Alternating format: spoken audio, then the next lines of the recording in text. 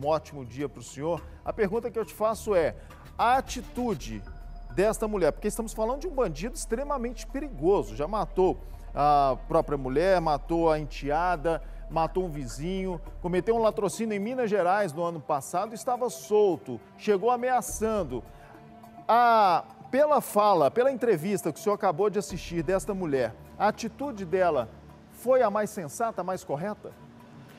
É, bom dia, Marcelo. Bom dia a todos que estão nos assistindo aqui na Record TV de Goiás. Ah, o problema aí, Marcelo, é o seguinte: dois pontos que a gente tem que levar em consideração. Primeiro, foi realmente o receio do Anderson de morrer.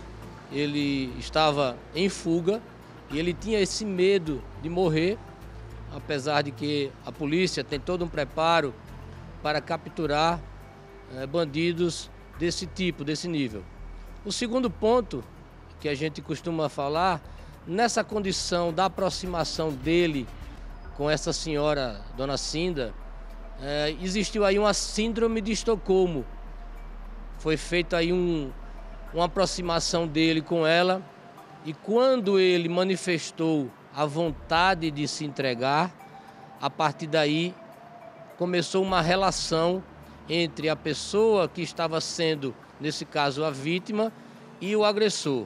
Né? Ele, de, na primeira intervenção, ele apresentou uma arma, anunciou um assalto e ela teve toda a calma, aí ponto para a dona Cinda, nesta calma de recolher essa pessoa que estava aí iniciando um assalto, mas na verdade estava fugando de vários homicídios que ele tinha cometido. Então ela teve essa, esse momento de calma, esse momento de submissão e fez com que ele tivesse uma relação de proximidade, uma relação de confiança. Então gerada essa essa síndrome de Estocolmo, a gente pode assim chamar. Daí já iniciou com a foto, a permissão dele de enviar essa foto, ela teve acesso ao celular, ela pôde ir ao quarto lá buscar a camisa para ele vestir. Então houve uma, uma certa relação entre os dois. Isso gerou uma confiança. Essa confiança fez com que esse caso ele tivesse um resultado positivo. Mas sim, foi uma situação de risco. A gente aconselha todas as pessoas que estão nos assistindo nesse tipo de situação. Quando houver alguém fugando na região, e a polícia fez um belíssimo trabalho, fez todo um cerco da região.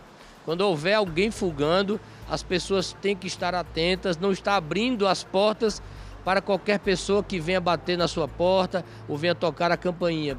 Procure se identificar. Coronel, apesar dessa relação de confiança que foi gerada ali em poucos minutos em que o Anderson esteve presente nessa fazenda, é um sujeito em que uh, ele estava, por exemplo, no último domingo, junto com a companheira e com a filha. Nós mostramos imagens aqui da família chegando numa loja de, de celular. Ou seja, aparentemente tudo normal. E aí, de uma hora para outra, ele resolve matar, tirar a vida da companheira e da enteada.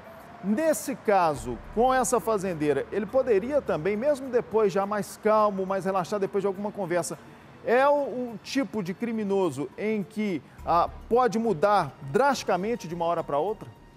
Eu não tenho dúvidas, Marcelo, que isso aí poderia acontecer caso a situação ela se prolongasse, tá? Mesmo havendo essa relação de confiança, você observa que ele era caseiro e ele assassinou lá o fazendeiro, ele assassinou a esposa, assassinou a enteada.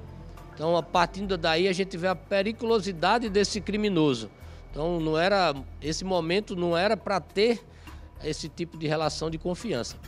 Tivemos sim, tivemos sorte. A dona Cinda teve um momento de calma. Ela foi aí, podemos até dizer, abençoada por Deus para que esse criminoso não cometesse mais um homicídio. O fator principal aí preponderante era o medo que ele estava, diferentemente de, do outro caso que aconteceu aqui também no estado do Lázaro. Ele não tinha conhecimento de mata, então ele estava com frio, estava com fome e estava com medo de morrer num confronto com a polícia, já que ele estava armado e podia haver um confronto, ele reagir e a polícia, é, no caso aí, neutralizar essa ameaça. Então, eu acredito mais que o medo, né, a necessidade ah, de se alimentar e o frio fez com que ele, nesse momento aí, pensasse em se entregar. Maravilha. Coronel, muito obrigado pela sua participação. Coronel da Reserva Enio Bolívar. É alagoano, Coronel? Alagoano. E nós estamos lá em Alagoas de braços abertos para receber todo esse povo de Goiás. Fui muito bem recebido aqui e espero voltar outras vezes. É, o povo goiano é, é, nota mil, né? Coronel, muito obrigado pela sua participação. Coronel que está em Goiás para ministrar um curso, é instrutor. Coronel da Reserva, muito obrigado mais uma vez. Um ótimo dia para o senhor, Coronel.